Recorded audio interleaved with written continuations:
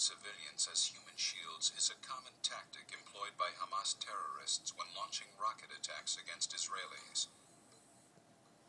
I saw around 200 children. And behind these children, I saw three men, terrorists, put a Qassam launcher and launch a Qassam. The dilemma that I had as a commander, the only gun that could be effective to this range is a machine gun, and it's not accurate.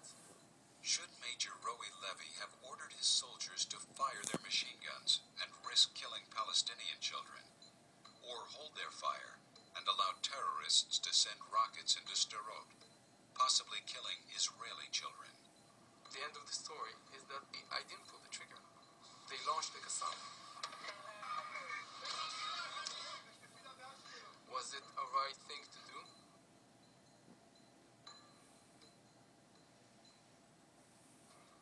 Are the kinds of tough choices that Major Levy of the Golani Brigade and every other soldier in Israel's defense forces must face every day.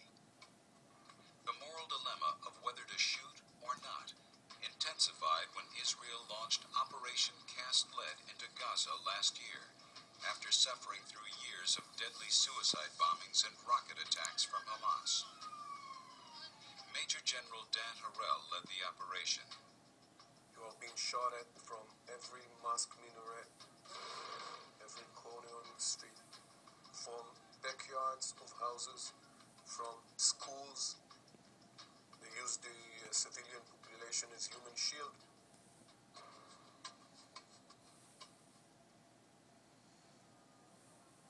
What the IDF confronted in Gaza was far removed from traditional open battlefield warfare between standing armies. Israeli soldiers now face paramilitary terrorist groups hiding among civilians in densely populated urban areas.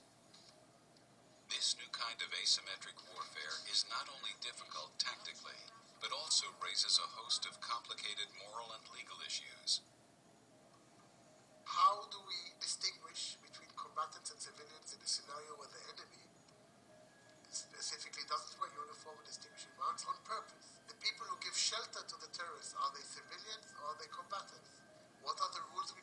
To allow them to be able to survive and practice humanity and morality in this type of battlefield?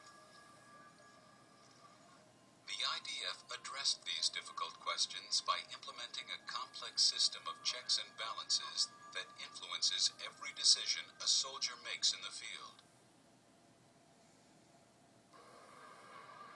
Yonatan is a pilot with the Israeli Air Force. Adhering to strict IDF guidelines, he was filmed in a manner that protects his identity. I would receive a target and they would say, okay, you can bomb this. You are good to go. And if I would stall for a minute, the authorization is gone. You need to attack within a minute, and you need to notify headquarters again 30 seconds before you release the bomb, and then again 10 seconds, because someone has to visually look at the target and be able to say the target is civilian free. Most of the sorties that I flew and cast lead, 10 seconds to bomb release, I was cancelled. Because someone saw civilians passing by. Even when their own lives are in danger, IDF pilots cannot take action without authorization. You fly over Gaza, you see someone shooting at you. You can see the, the bullets flying up. You still do not have the authority to shoot back. This is frustrating.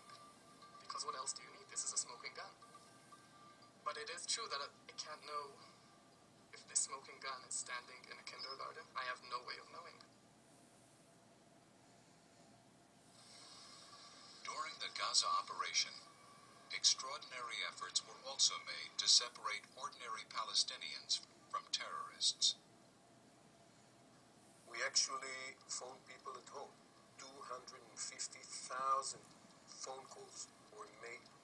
Leave your home and move west. Radio station called them to leave the area of the fighting. Thousands on thousands of pamphlets were spread over the uh, Gaza Strip. And the fact that 800 out of the 1,162 casualties we know of Cast Lead operation were terrorists, The thing speaks for itself. Of course, mistakes do happen. It happened, and we will do research and study and punish. If one of my soldiers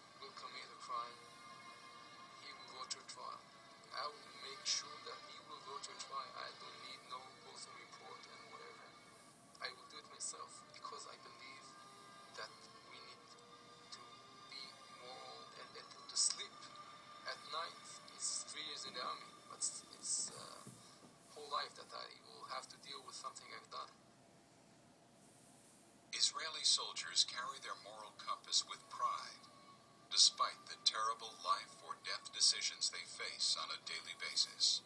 It is an impossible choice, I think. If you ask a mother of an infantry soldier that was killed because we couldn't give the response quickly enough, it wasn't worth it. But I think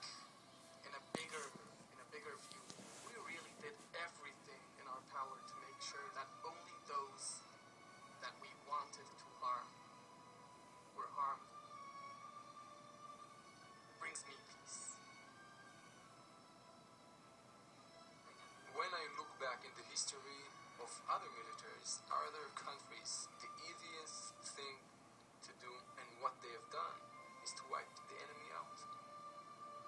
That's it. But we are different.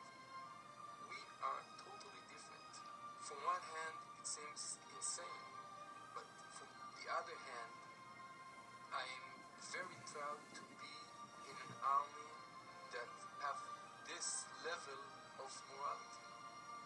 of my soldiers.